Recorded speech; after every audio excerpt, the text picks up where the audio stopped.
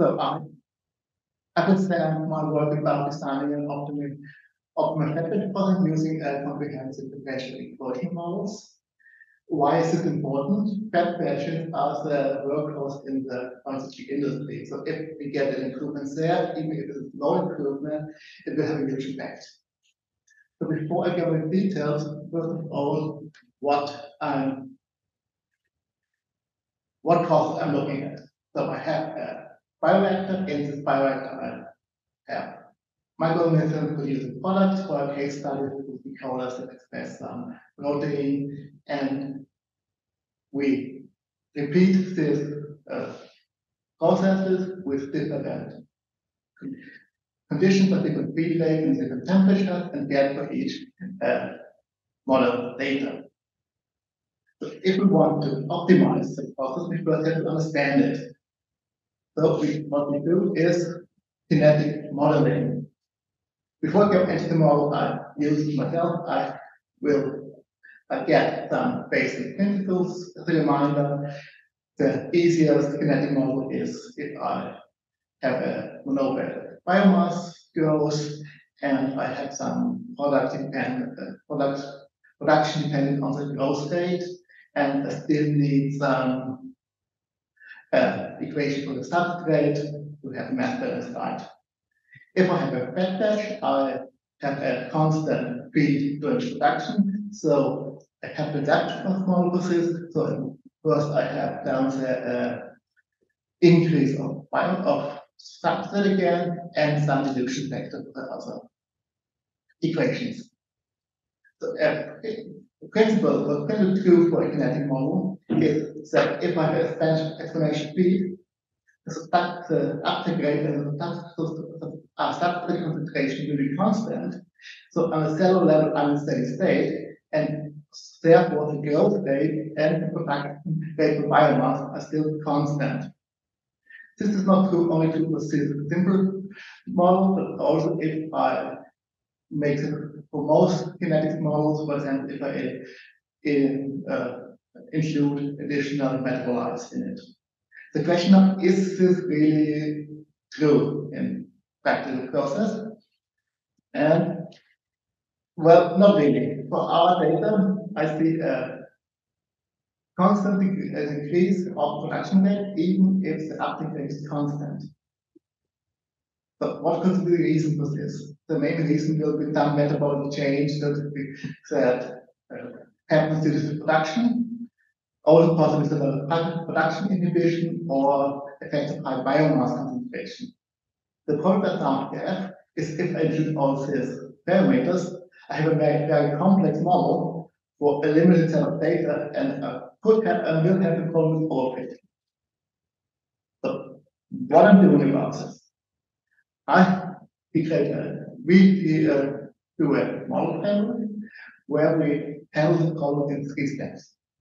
The model definition, the model simplification, the parameter estimation, and the cost optimization. In the first, in the first step, I just use process knowledge to set up a general model. So the step abstract model is uh, suitable for a wide range of processes. And at this point, I don't care if the model, the model gets too big. I want to have all possible effects in the model. I can do this because in the next step, in the model simplification, I use the data to reduce the size of the model. So I can remove all model terms that do not improve the fit the model fit. Okay, this is course nice to have. Now I can have for all given other conditions, I can predict what, this does. But it's not really the final target. The final target is to have an optimal process. This is quite easy if I say if I have a fixed feeding strategy for, uh, for example, a fixed expansion feed. If I don't do this, I we use um,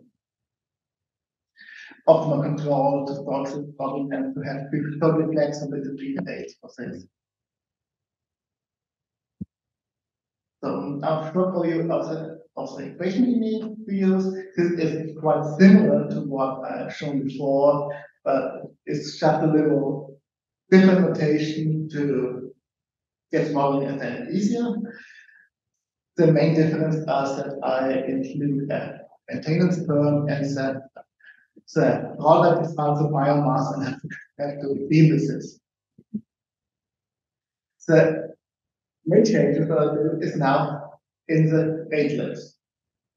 So I have the rate, I have the, the subdomain used for cell maintenance, and I have a subdomain used for product, and the rest is the used for biomaterials. And in addition to the standard model, now I have these additional terms, which are inhibition terms. So I can have each, each equation can be inhibited either by, by substrate by the number of generations, is a proxy for metabolic change, for the of biomass, or for high biomass concentrations. And in addition, as I have data that is at different temperatures, I use a temperature model based on enzyme kinetics to with this as well. How much before this model is really big for. So I do now do the reduction.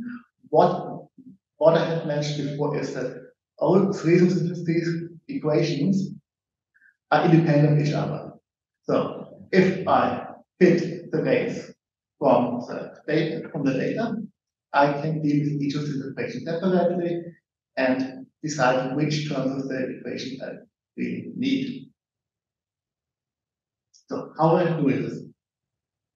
I write model equation uh, as, as, as vectors. And if I do this, I can of course remove each vector and still have a valuable model.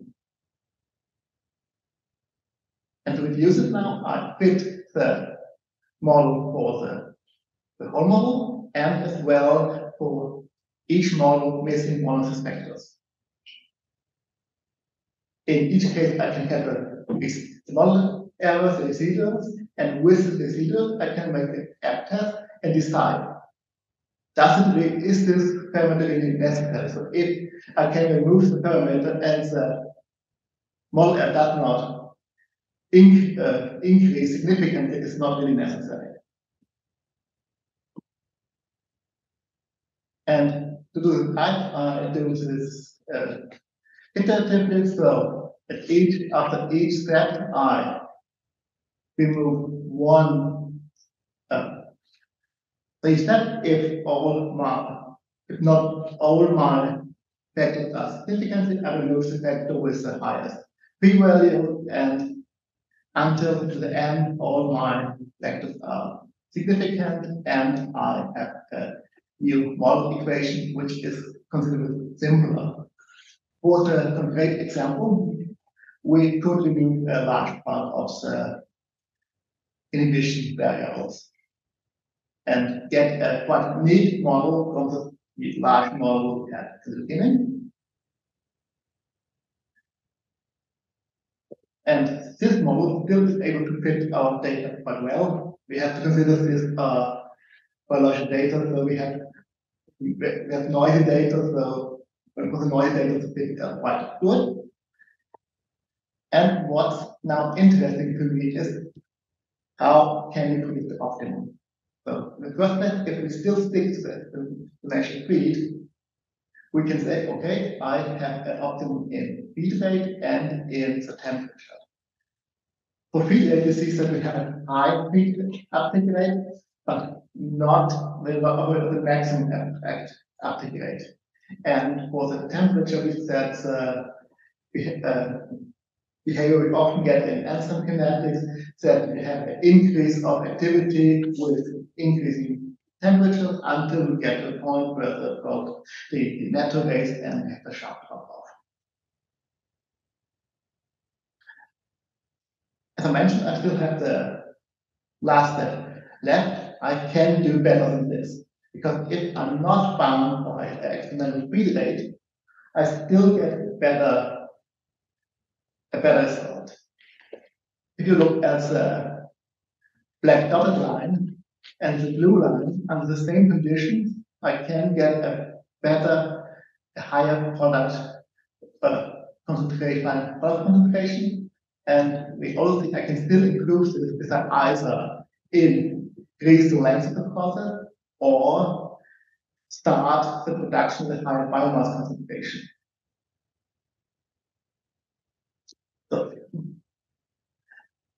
so a reminder, what have we done? We have done our process, did the collected data, build the data in our framework, and from the framework we still we get an optimal process that is not bound by um, uh, conditional limits. With this, this overview, I will end the presentation and finally thank my research group for their support.